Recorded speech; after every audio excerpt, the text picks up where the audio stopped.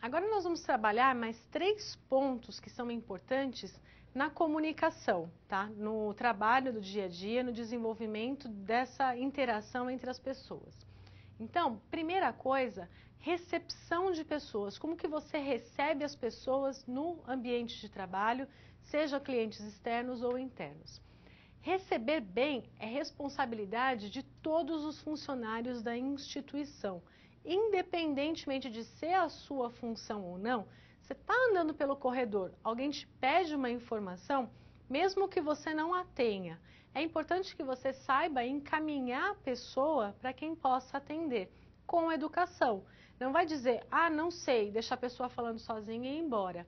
A gente tem esse compromisso com a sociedade, então a gente precisa saber tratar todo mundo de forma adequada, tratar todo mundo com civilidade, com educação. Seja consciente e cortês, sem preconceitos. Cuidado com impressões antecipadas e distorcidas, aquela imagem que você faz da pessoa sem conhecê-la. O tratamento senhor ou senhora pode ser dirigido mesmo a jovens, a não ser que o cliente o autorize a chamá-lo por você.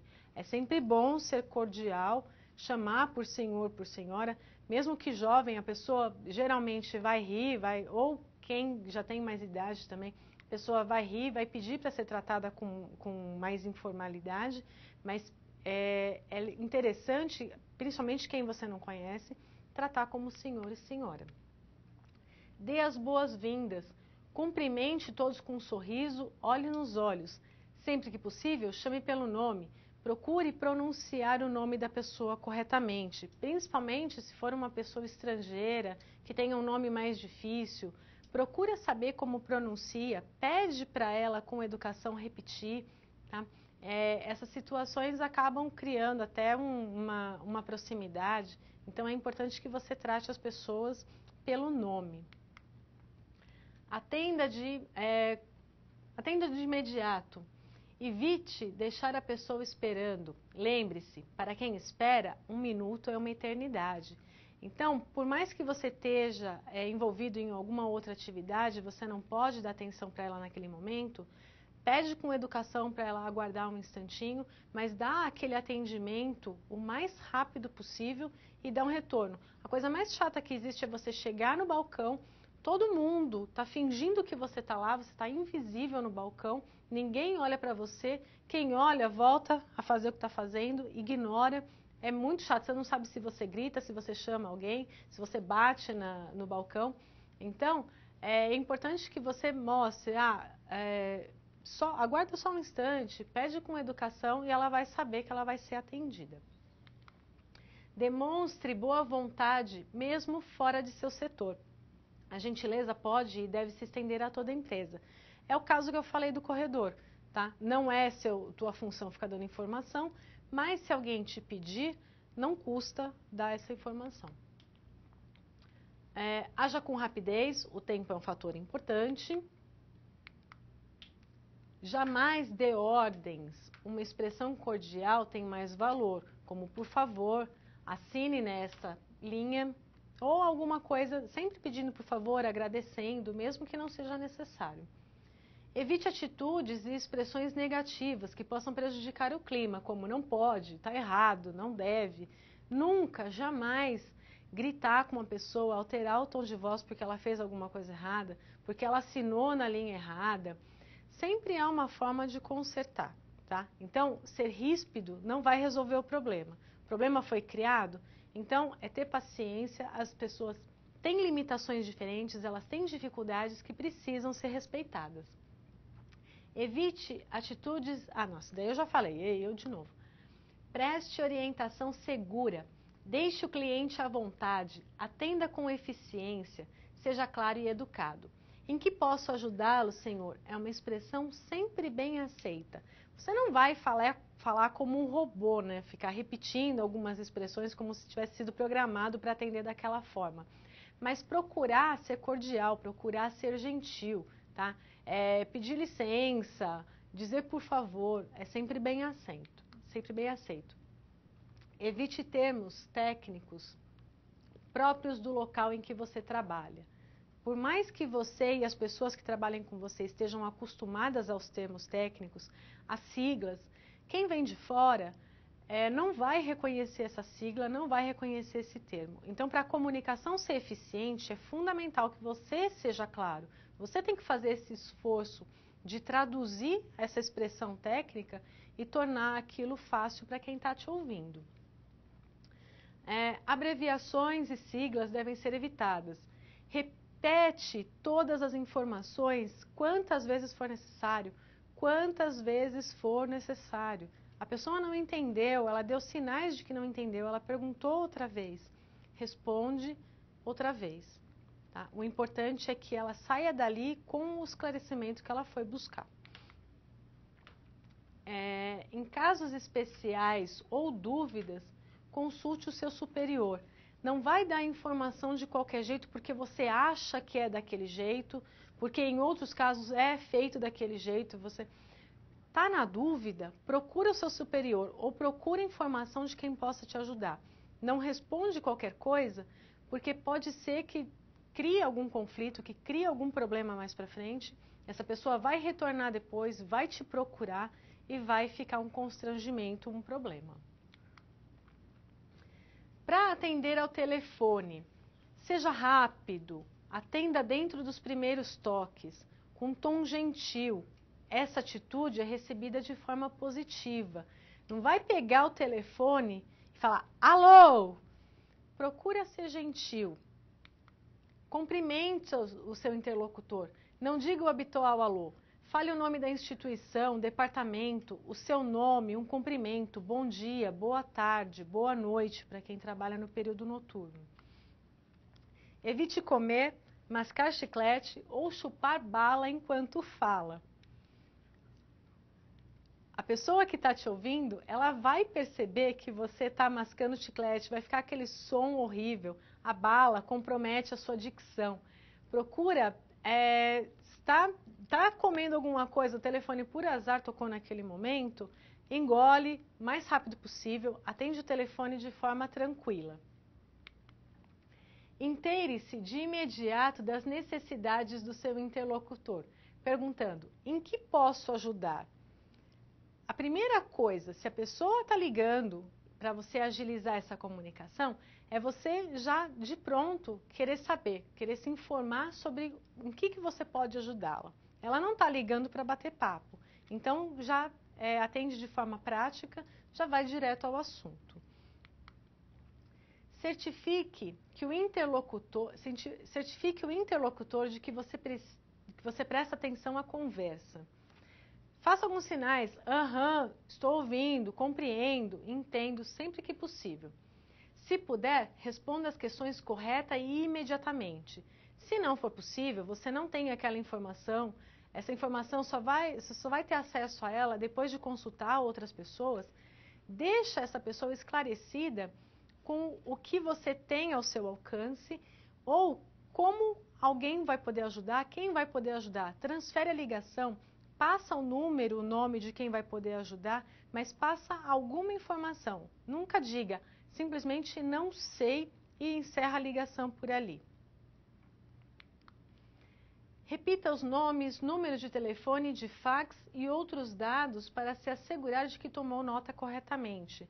Cuidado com sua memória. Sempre que alguém passar um nome, passar alguma informação, anota na hora, repete essas informações. Pode ser que você tenha entendido um número errado, vai anotar, depois essa pessoa não vai conseguir ser contatada depois.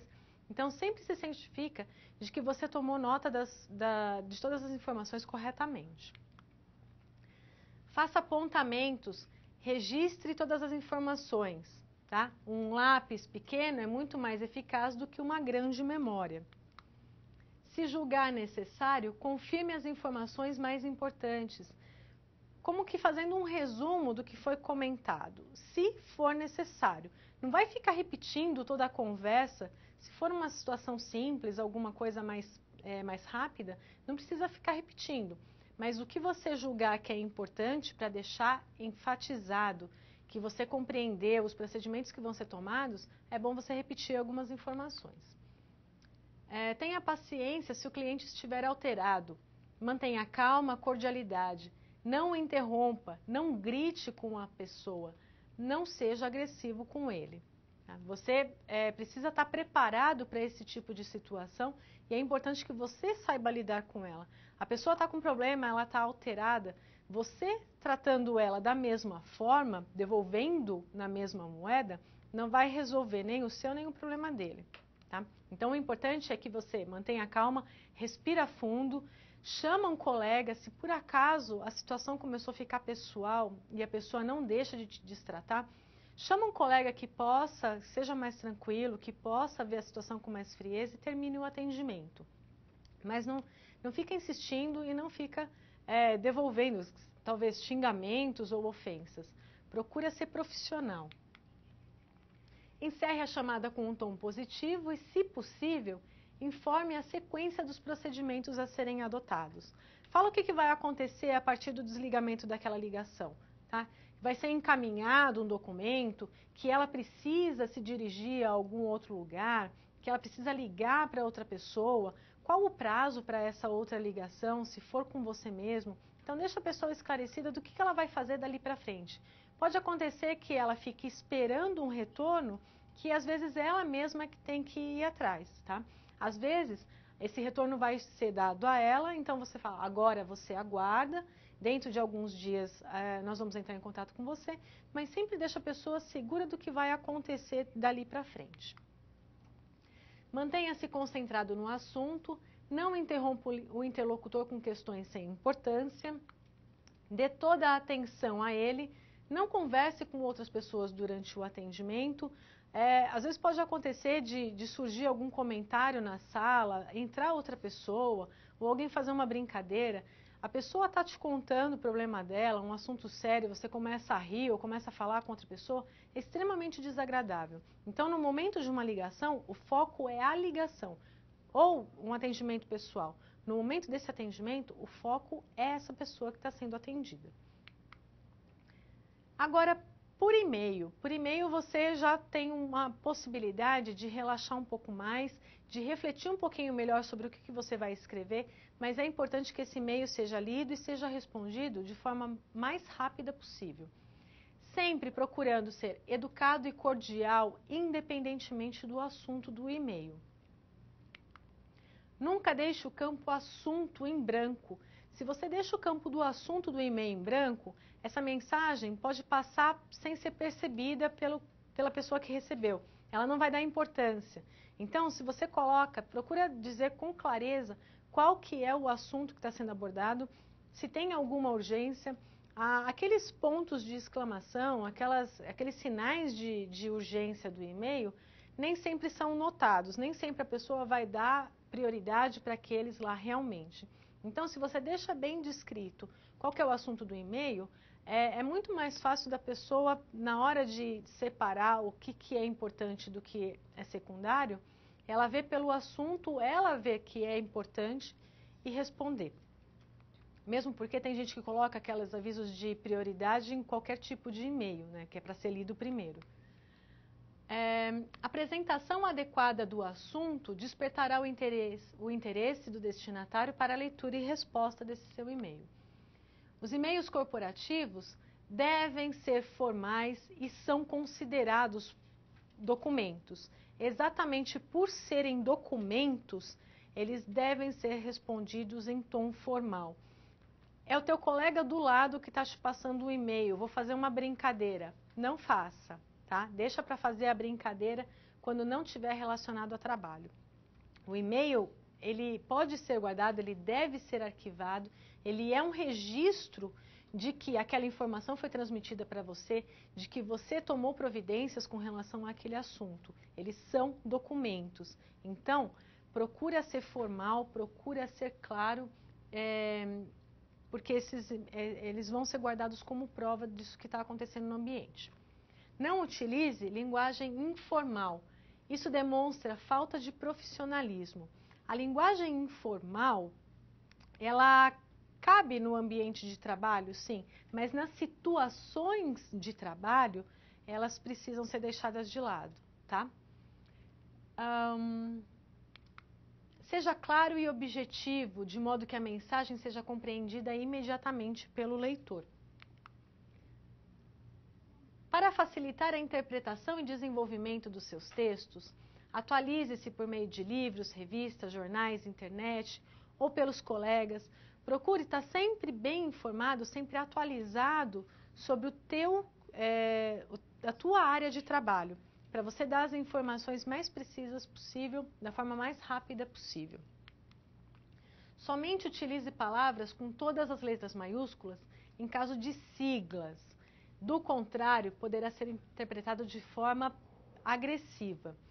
Evita, então, colocar, a não ser que você queira propositalmente dar destaque para aquela palavra, e no caso de ser uma sigla, que aí você coloca tudo em caixa alta.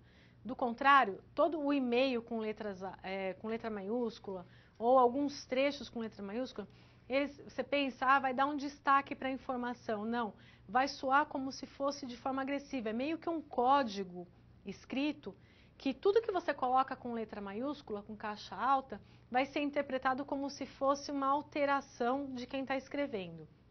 Então, cuidado com esse uso, porque a interpretação pode ser errada.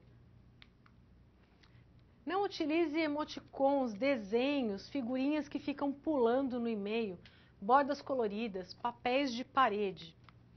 Não envie mensagens do tipo corrente Aconteceu há pouco tempo, a pessoa conseguiu travar o sistema lá da saúde com uma corrente é, que foi enviada simplesmente para todos os, os, destinatários com o e-mail arroba saúde. Então, é, isso criou um problema que as caixas lotaram, o sistema ficou comprometido. Então, corrente é sempre, deixa para o teu e-mail pessoal, você acredita na, na, naquilo que está sendo é, veiculado, você quer passar para frente mesmo, ah, mas era uma mensagem bonita. Deixa isso para o e-mail pessoal, nunca no e-mail de serviço.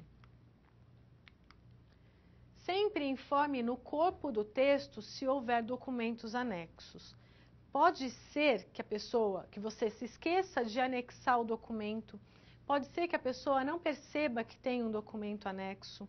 Acontece de vez em quando. A gente quando a gente coloca expressamente, segue em anexo, documento relacionado, você vai mostrar para a pessoa que tem ou que deveria ter. Se por acaso você escreveu a mensagem e não mandou o anexo, a pessoa vai retornar o e-mail e vai dizer, olha, você esqueceu de anexar o arquivo. Aí você pega e você coloca, tá? Então é importante que você coloque, deixe explícito que tem um documento ali para que esse documento realmente chegue às mãos da pessoa. Utilize um fecho formal, como atenciosamente, etc. Não vai deixar o e-mail no vazio. Coloca uma despedida. Não se esqueça de assinar o e-mail com o seu nome, cargo, departamento, instituição e telefone. Quanto mais informações você colocar ali para a pessoa conseguir chegar em você no caso de alguma dúvida, melhor. Porque senão vai ficar simplesmente a comunicação por e-mail e pode ser que essa comunicação por e-mail não seja tão rápida. Pode ser que a pessoa não acesse o e-mail em tempo real. Então, é, se você tem um telefone, é uma, um assunto de mais urgência, a pessoa tendo o seu telefone, o seu nome, ela vai entrar em contato com você, ela vai te procurar e vai resolver, a, esclarecer a, a, a confusão, o problema de maneira mais rápida.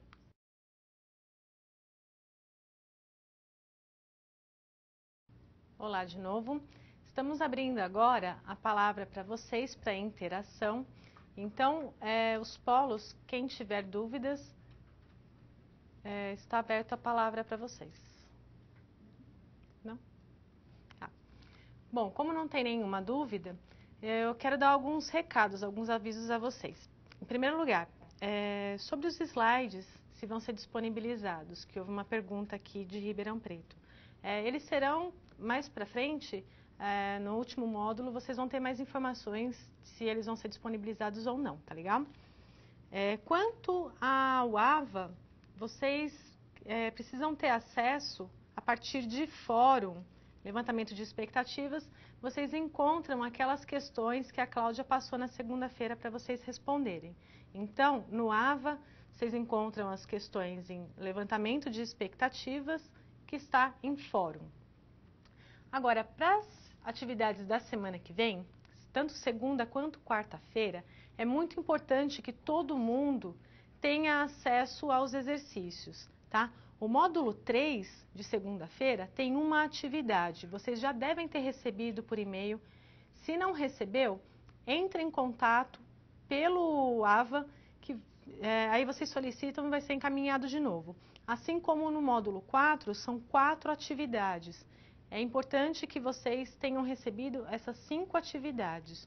Já foram encaminhadas para vocês, mas quem não recebeu, pede de novo, faz essa, essa solicitação, que aí eles vão encaminhar para vocês novamente. As atividades da semana que vem, tanto na segunda quanto na quarta-feira, dependem desses exercícios, tá? Então, o andamento das atividades precisam deles, precisam que vocês tenham é, esses exercícios em sala para serem executados. Tá? É, então, eu agradeço a participação de todos, agradeço a presença, esperamos contar com vocês na semana que vem no módulo 3. Muito obrigada e até mais.